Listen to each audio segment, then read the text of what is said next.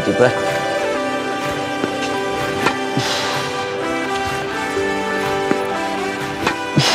Okay, champions, I'm taking you through um, the high single backhand today. A lot of players have a big problem or they struggle with the high backhand, especially when you're doing one-handed backhand. Okay, the first reason is because obviously the one-handed backhand is a bit weaker, so you need to figure out how you're gonna get strong.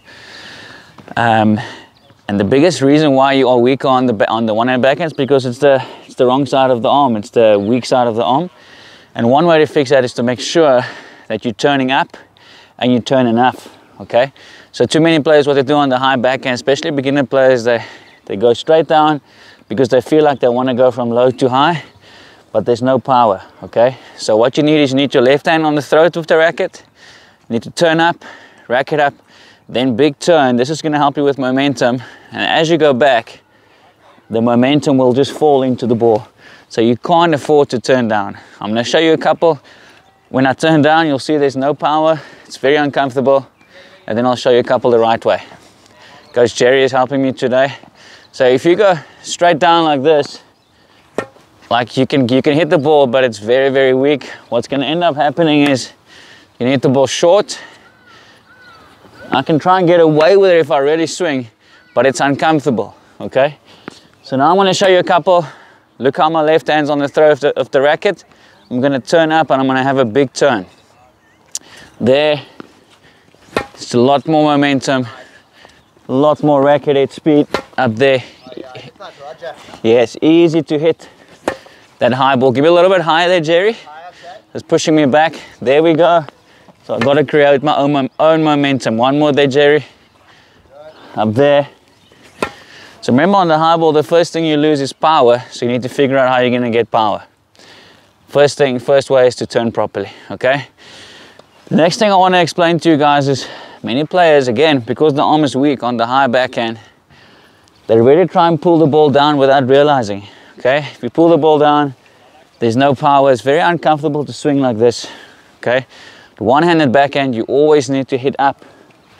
Especially on the high ball, you got to hit the ball back, back up in the same direction. Okay, what's going to happen if you hit down on the high ball? Nice and high there, Jerry what's going to end up happening is you're going to hit it flat, it's going to go low. And also, even if you get it over, even if I get it over, the chances of that ball hurting my opponent is very low. So now I want you to notice what happens if I hit the ball back up in the same direction. It's going to push my opponent back, okay? We go.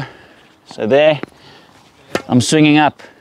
That ball's a lot more heavy and it's really pushing my opponent back. I can actually get back in the point. There we go.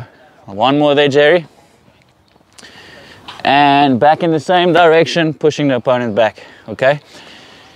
Last two tips for you guys on the high backhand, single backhand. I know a lot of you are, are actually noticing that I'm going back. The reason why I'm going back on that high backhand is because that's easier. That's the best way to do it. Can you go forward? Can you take it early? Yes, you can, but it's a bit harder. It's more advanced. I would say 80% of the time. See that ball comes high and there's enough space. Make sure you go back all the way and then you rip it back up in the same direction. If you see that that ball's maybe too high and it's got too much spin, maybe it's going too much through the court, and you notice that it's going to push you too far back, then you take it early, okay? So I'll show you that it is possible to take it early, just a bit harder. So what happens is now you have to go step in, almost take it on the rise, but it's a lot more difficult. Give me two more there, Jerry.